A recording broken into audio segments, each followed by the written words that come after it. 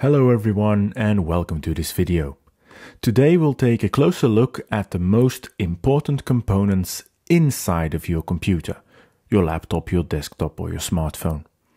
So we're going to explore the internal hardware, the physical parts that make your device work. This is the foundation of every piece of technology we use and after this video you'll have a clear understanding of what's going on inside.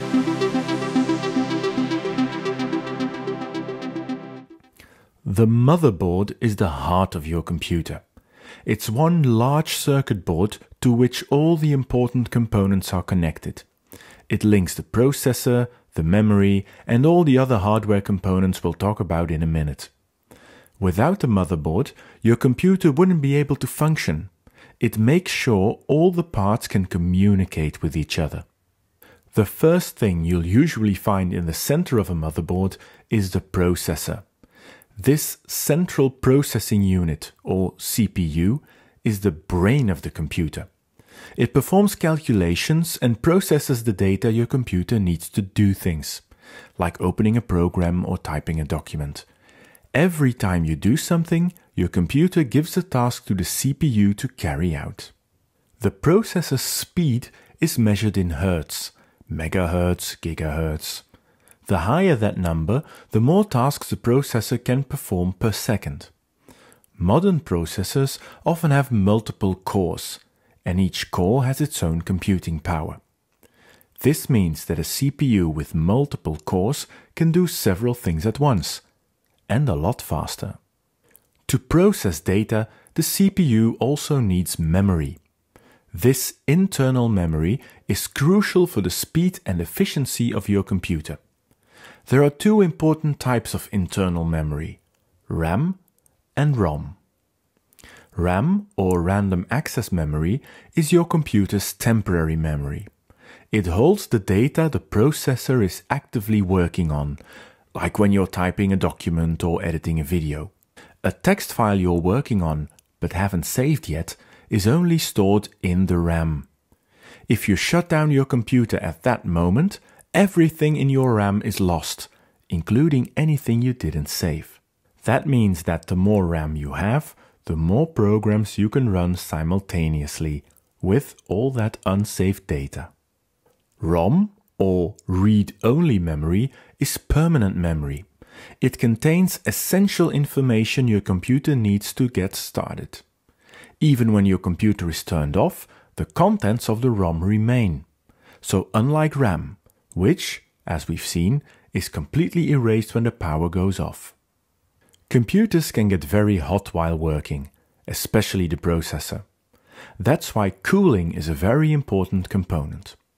A cooler is usually placed on top of the processor to carry away heat and keep the temperature at a safe level, so the processor doesn't overheat or in extreme cases even melts. Some computers, especially gaming PCs, have special fans or even liquid cooling systems to keep the processor even cooler, allowing users to push the processor even further. When the processor has finished turning all that data into information, you of course need storage to keep it. Your documents, photos, programs and games, everything takes up a number of kilobytes, megabytes or even gigabytes. And they are stored on storage media or external memory. The two most common storage types are hard drives and solid state drives or SSDs. Traditional hard drives are relatively cheap and offer a lot of storage, but they tend to wear out over time because they have moving parts inside. SSDs don't have that problem. They're faster, more energy efficient, and more reliable, but also more expensive. You pay more per gigabyte of storage. Most modern computers use SSDs for their speed and reliability, though large traditional hard drives are still used for bulk, low cost storage. To upgrade or expand your computer, you can add the so called expansion cards through the PCI slots on the motherboard. These expansion cards add extra functionality, like for a graphics card, sound cards, or network cards. For gamers and graphic designers working with heavy 3D applications, a powerful graphics card is essential. So if your computer doesn't have a built-in GPU, you can add one through one of those expansion slots. To connect to other computers or to the internet, your computer needs a network card. It can be completely wireless or it can have a UTP port for a network cable. You'll learn more about networks in our video that focuses entirely on that topic. Nowadays, motherboards already have many features built in, like the network connection or the graphics processing unit or even sound systems. That's why for many tasks you no longer need separate expansion cards. All these components of course need electricity to work and that's the job of the power supply. The power supply unit converts the electricity from your wall socket into the correct voltage that the different parts of your computer need. Different computers need different types of power supply, depending on how much power they require. The less power a computer uses, the more energy efficient and the better for the environment and your wallet. So, now you've gotten a peek inside your computer, from the processor over the cooling system to the working memory.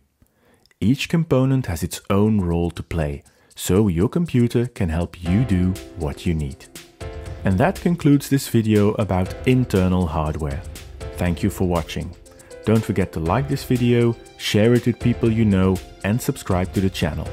Have a look around, maybe you'll find some other stuff that might be of interest to you. Thanks again for watching and I'll see you for a next Begrepen video.